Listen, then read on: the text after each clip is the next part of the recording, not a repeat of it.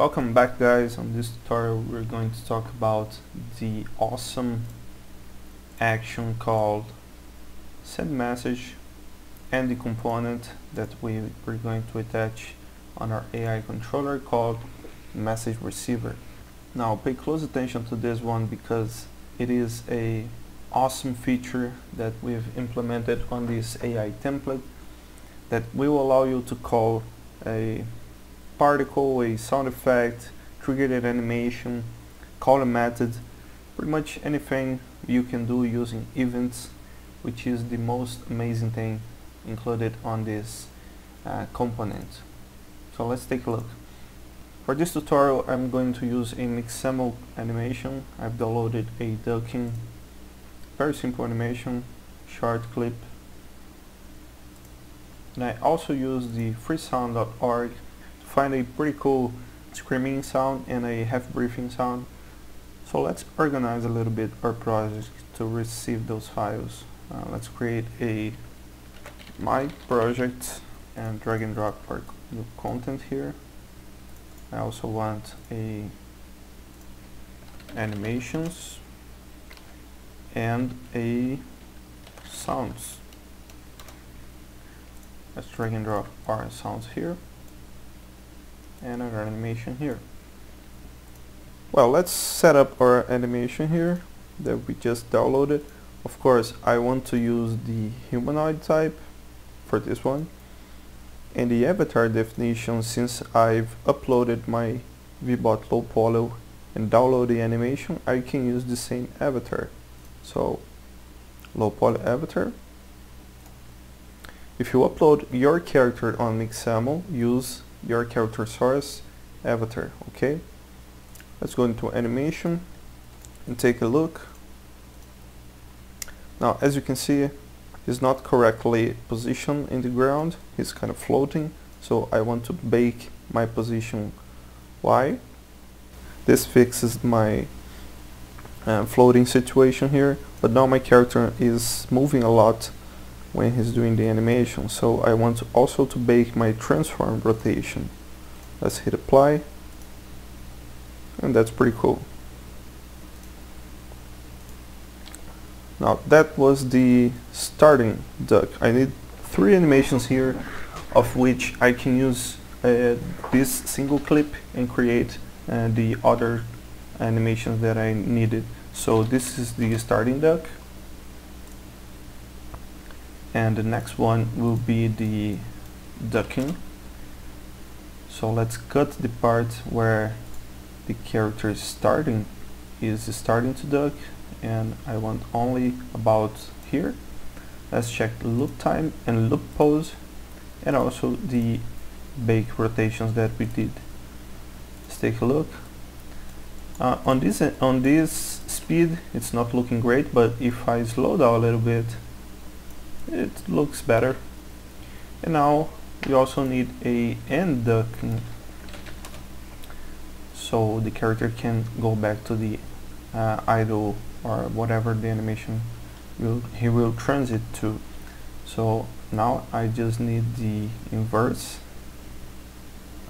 About here let's also bake this animation. And in here as you can see it's the starting duck but on the animator I will use the inverse speed so he will be uh, standing up uh, instead of crouching. Now for this example I want to use the civilian. Now we're going to modify our animator controller so let's make a copy of the base locomotion and paste inside our little folder here. Let's create a folder animator. It's different for animations. Drag and drop here and set my project AI scare. Cool. Let's assign it to our AI now let's assign our new animations. Uh, for this case I want to use the base layer. I could also use the full body layer uh, because it's a full body animation so let's use a substate machine and call it actions. In here I want to create my ducking substate machine as well. And in here I want to drag and drop my animation clips. The start the ducking and the ending duck now what I'm going to do is to trigger the starting duck using the send message when he's going to flee or some other state that we can create.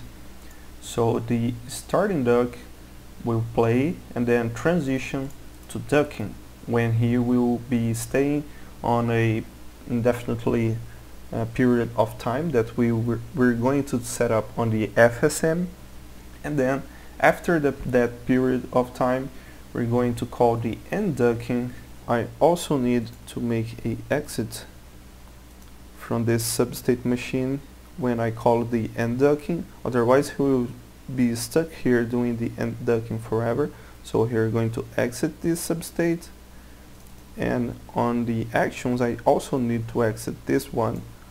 Otherwise here he will entry again and start ducking again now remember we created the end ducking animation from the starting duck so let's invert our speed to minus 1 so he can actually uh, stand up instead of crouching.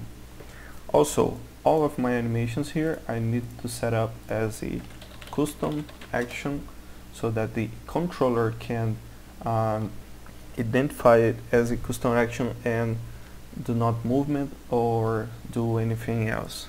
So custom action for this one and this one as well. Cool, the animator part is done. Let's go to our FSM and since I'm going to modify my behavior I don't need anymore the look at noise and go to noise position because what I'm going to do is when I shot nearby the AI he will flee for a period of time like 10 seconds and then he will going to uh, start the ducking animation, stay there for more uh, for a few more seconds, and then go to idle and back to patrol. So we don't need that anymore. Let's del delete these nodes and this one as well.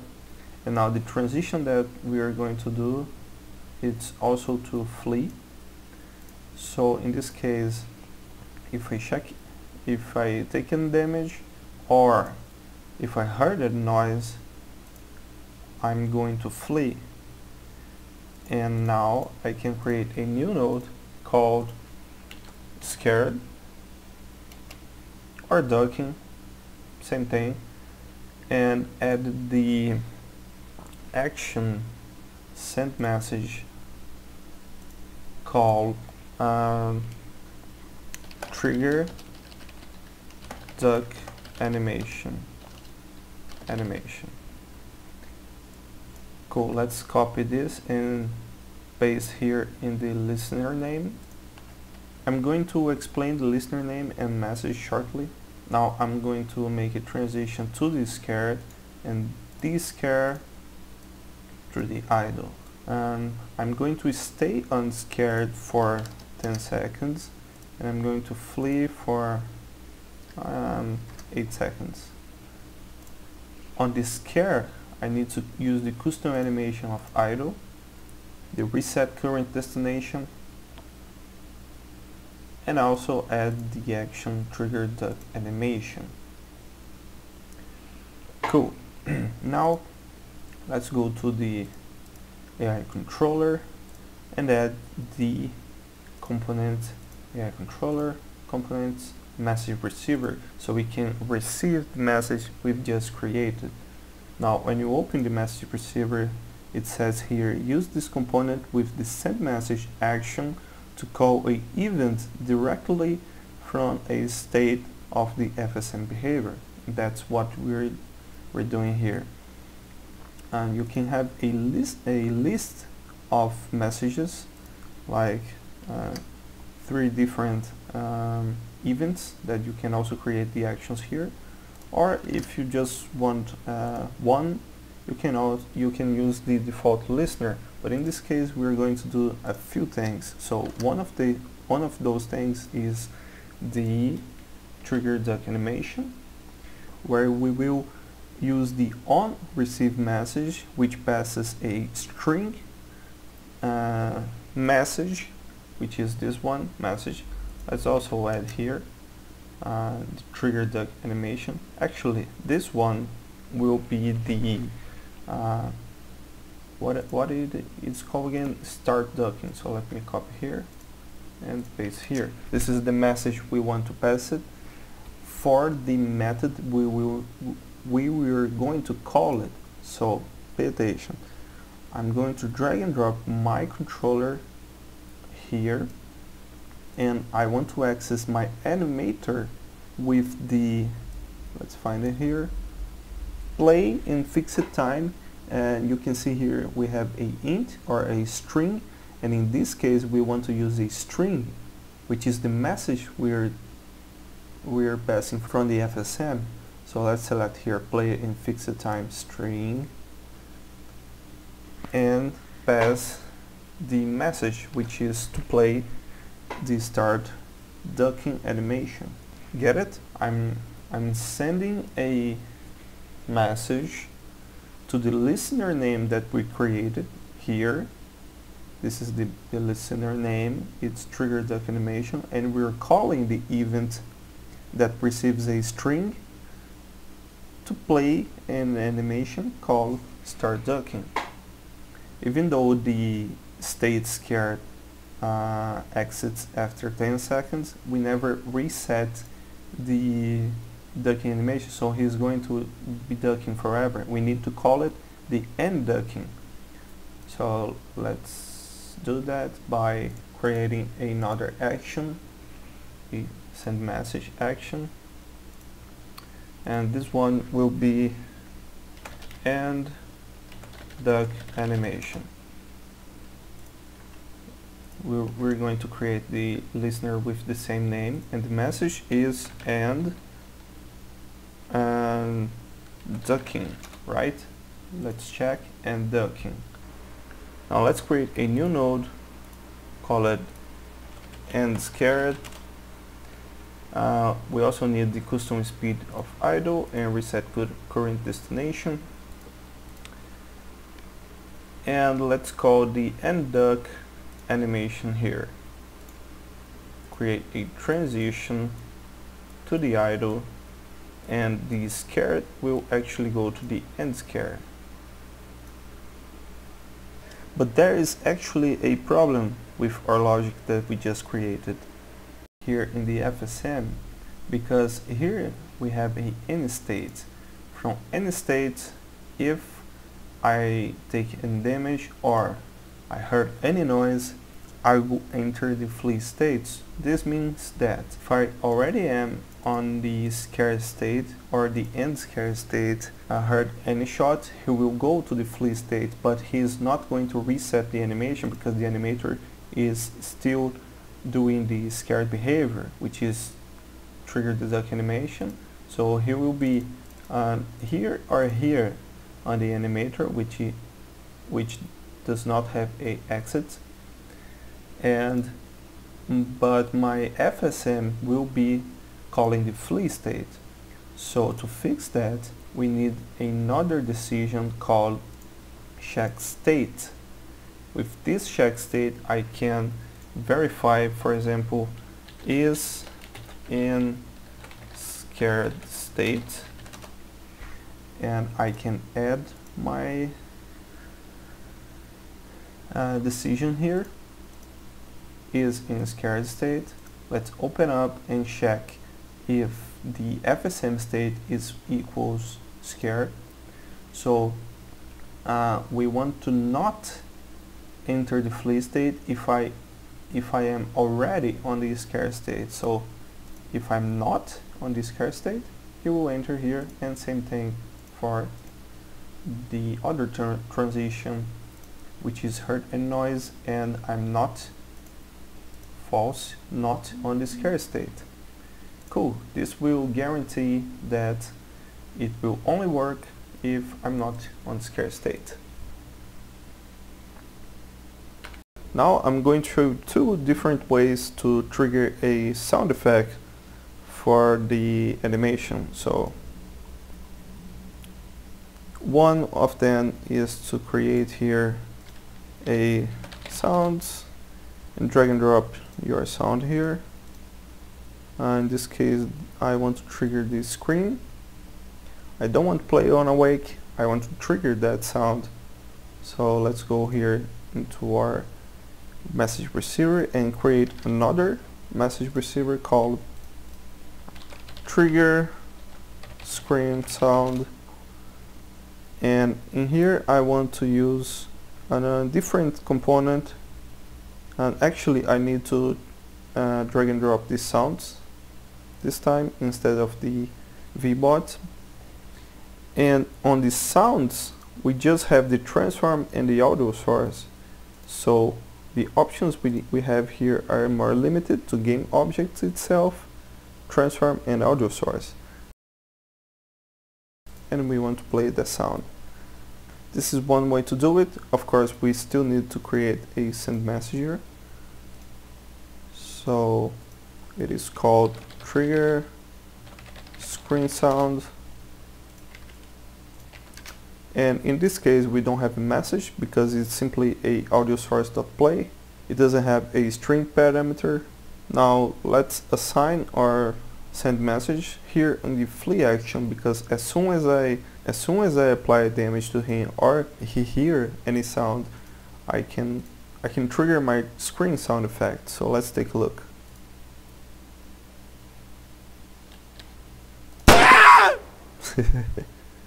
Pretty cool Another cool way that you can trigger a sound effect is by going directly on the animation clip uh, and sorry animation state of your animator controller and use our script trigger sound by state. And here you can add as many sounds as you you need it it will play randomly. So you can select here your animation and stick with just one. And a audio source we already have a prefab the project but the ideal is for you to create a copy of the audio source and check loop here for this specific uh, sound. I want to I want to use looping. So my audio source also uh, on the original audio source we have a destroy game object of one second. Um, but in this case since my since my behavior is to be on this scared state for 10 seconds I need to increase that for 10 seconds and the, and and after that he will destroy. And now finally before we testing let me just reduce a little bit to 4 seconds on fleeing and 6 seconds of scare. So let's take a look now I'm going to use my weapon to shot at anywhere so he got scared. Cool, he triggers the sound and starts fleeing. Now he's ducking, playing the second sound, 6 uh, seconds of ducking and play the end of ducking animation, idle and got back to patrol. And I can do everything again with my fully functional uh, FSM. Pretty cool, right? Pretty cool feature to have. You can uh, trigger sound effects, uh, animations, particles. You can even call a uh, specific method that you need. For example, go to the FSM controller and stop the FSM. Anyways, the possibilities are endless with these components. I hope you can create something very cool with these features from the AI template.